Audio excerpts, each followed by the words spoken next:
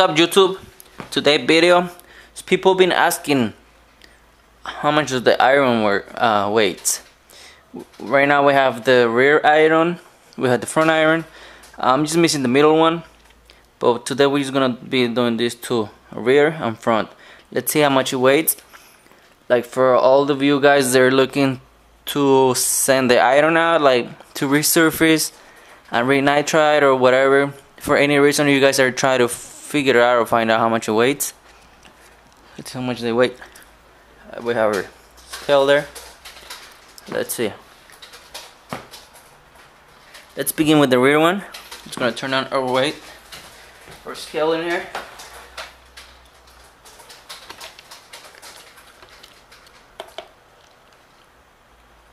There's on around there.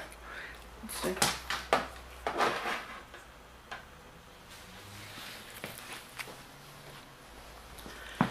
Maybe I can try to zoom in a little bit more. Uh, that's perfect. I believe we can see the the numbers over there. Let's start with the rear one.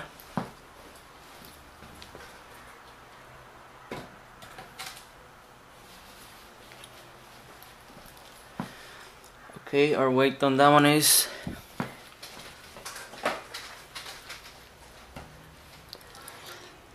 twenty-seven pounds with 8 ounces. Uh, 27.7. 27.7, 27.8. So that's the rear one. Let's go ahead and do the, the front one.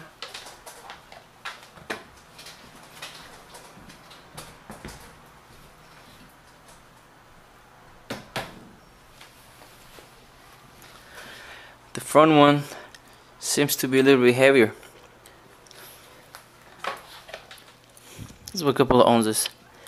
This one is 27.9. Should be around there.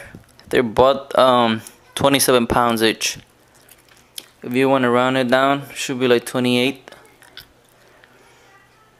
Just remember, remember after you do your packaging and stuff, it's gonna go up like another pound. You can say two pounds. So for sure, like after packaging and everything, it should be like around 30 pounds.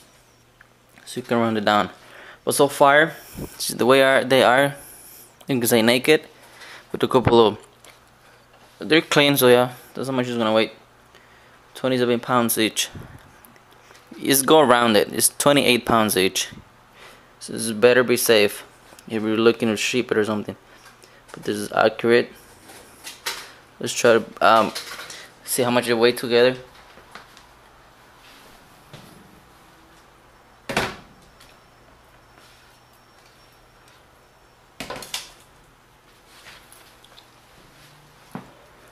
okay rear and front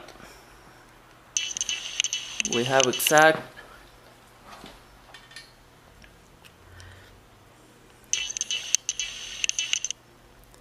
Fifty-five pounds flat. No wait, hold on. Yeah.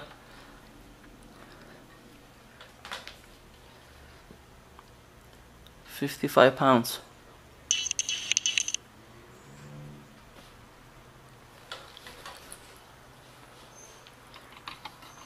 Try to move the camera around here. Yep.